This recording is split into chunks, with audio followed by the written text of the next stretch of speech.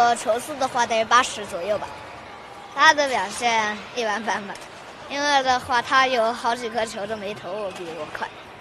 徐嘉诚十岁，从幼儿园大班开始跟着爸爸学打棒球，得过同龄组华东区冠军以及全场最具价值球员。爸爸在以前中学时候也喜欢打棒球，然后的话，到我那个六岁的时候的话，我爸爸就想教我玩一下，我就觉得很有意思，非常好玩。就是在传接球的时候啊，就是内心里会有那种小小的成就感之类的，然后帮你把球打远时候，然后得分时候也会很开心之类。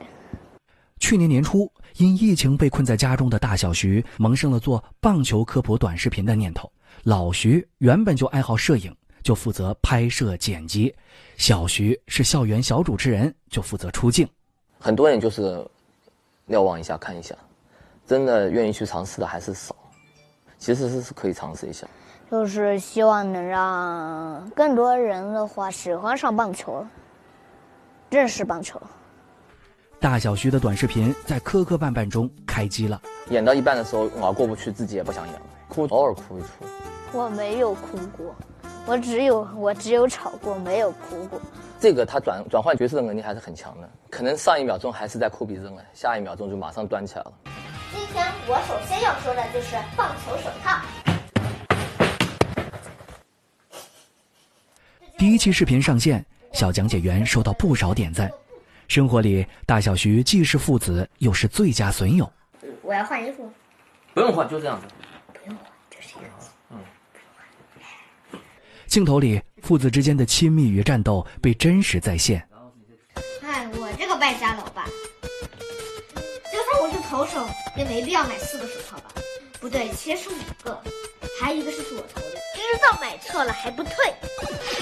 二零二零年，二零二零年 MLB 新赛季又要开打了。你别笑。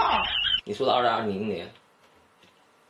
二零二一年，你说的二零啊，不想跟你说啊，赶快走。那我不想跟你说，我也不想跟你说，我真不想跟你说。嗯。表面上老徐爱挑小徐的刺儿，私底下老徐早已是小徐的铁粉。他有时候如果自己发挥的好的话，我觉得那很欣慰的。他他都会说这种话了，我没给他设计这个呀，就感觉偶偶尔身体都会过一下电。我听说。那这次这段视频啊，就是说了很多感受。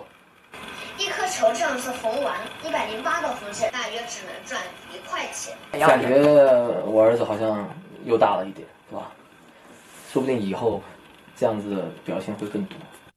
为解释棒球球体构成，小徐还花了整整两个下午亲手做出一颗棒球。缝线时候的话，就是你在那个缝把那个皮裹在那个球上的时候，然后还要用线给它缝住，这一步我觉得还是比较难的。一年来。大小徐陆续创作了六百多个作品，内容涉及棒球装备、比赛规则、球队介绍等，专业知识在萌娃小徐的演绎下变得轻松有趣。不用懂规则，一秒看懂棒球赛，就像你的帽子永远不会过时一样。洋基队每年都是夺冠大热门。谁说中国棒球才起步？早在一八九五年就有了中国第一支棒球队——北京汇文书院队。不少网友留言说：“因为小徐爱上了棒球，棒球是一种很很艰苦的运动，但是他们的视频里面能够把这些另外表现出一份欢乐的，我觉得这个这方面还挺好的。以前最要好的一个同学，嗯，受徐嘉诚影响也报了棒球。我就是我感觉还蛮兴奋的，就是有人想要看了我这个视频想要去学棒球，就我希望。”以后棒球可以跟现在的篮球一样，又火了。MCN 计划啊，我们请到一位非常可爱的小朋友，这位小朋友呢叫做徐嘉诚。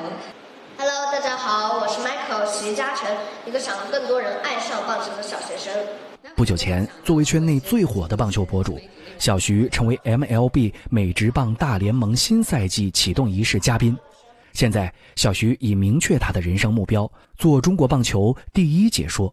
成为一名那种棒球解说，能让更多人了解一下棒球。我也希望我成为亚运小记者，为中国棒球队的哥哥们采访一下。当然，我也很希望我的爸爸会在线上给我拍摄。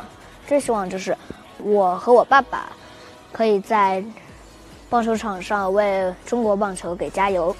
小徐说明年要去杭州亚运会现场为中国棒球队加油呐喊，也期待在赛事直播中说一句：“这是来自徐嘉诚的现场解说。”